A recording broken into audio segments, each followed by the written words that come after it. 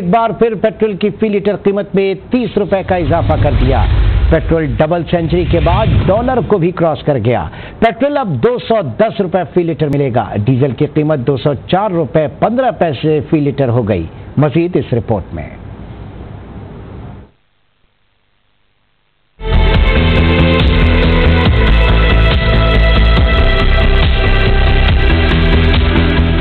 इस्लामाबाद में press conference करते हुए वज़ीर खजाना ने कहा कि पेट्रोलियम मसनूआत की कीमतों में इजाफे के बावजूद काफ़ी नुकसान हो रहा था।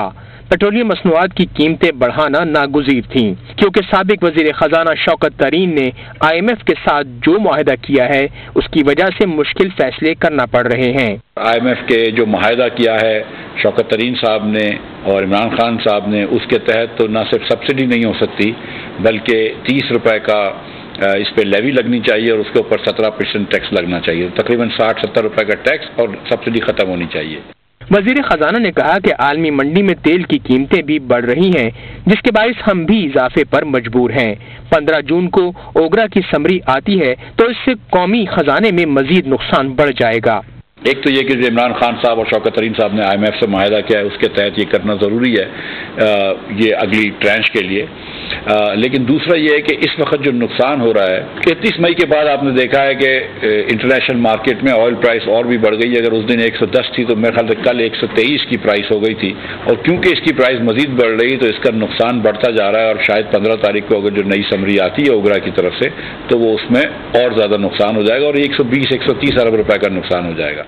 मिफ्ता इस्माइल ने पेट्रोल की कीमत तीस रुपए इजाफे के बाद दो सौ नौ रुपए छियासी पैसे फ़ी लीटर, डीजल दो सौ चार रुपए पंद्रह पैसे फ़ी लीटर, लाइट डीजल एक सौ अठहत्तर रुपए तीन पैसे, जबकि मट्टी का तेल एक सौ इक्यासी रुपए चौरानवे पैसे फ़ी लीटर करने का ऐलान किया, जिस पर दो जून की रात बारह बजे से इतलाक हो गया।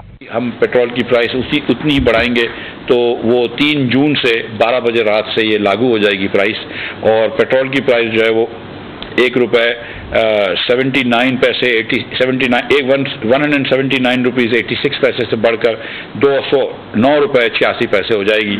इसके बावजूद भी अभी नौ रुपये तकरीबन नौ रुपये कुछ पैसे पेट्रोल पर नुकसान हो रहा है हुकूमत को। एक इस पर एक पैसा भी टैक्स नहीं है, इस पर नुकसान हो रहा है। इसी तरह डीजल के ऊपर हम एक सौ चौहत्तर रुपये पंद्रह पैसे का बेच रहे थे, इस पर भी तीस रुपये प्राइस बढ़ाएँगे और इस पर दो सौ चार रुपये पंद्रह पैसे का हो जाएगा। वज़ीर खजाना का कहना था कि वज़ीर आज़म शहबाज शरीफ ने सस्ते पेट्रोल की स्कीम शुरू की है। इस मद में 28 अरब रुपए दिए जाएँगे।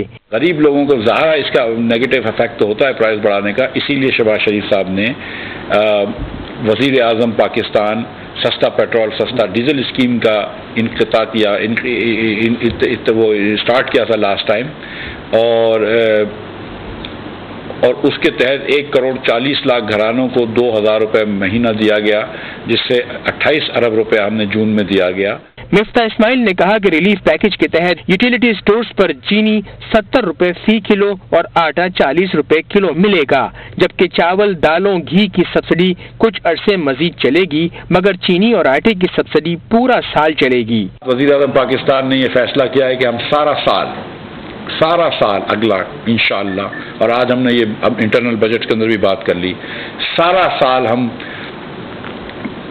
हतुलमकान कोशिश करके चीनी यूटिलिटी सोर्स कॉरपोरेशन पर सत्तर रुपए की बेचते रहेंगे और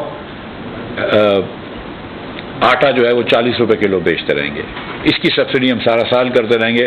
तो गरीब लोगों को वहाँ पर कम अज कम हम एक ये महँगाई से रोकेंगे। मिफ्ता इस्माइल ने कहा कि पाकिस्तान तहरीक इंसाफ की हुकूमत की जानब से दी जाने वाली एमनेस्टी स्कीम भी दो जून से खत्म हो गई है। जून में आई एम एफ़ के साथ मुहिदा हो जाएगा क्योंकि आई एम एफ़ बजट को भी देख रहा है।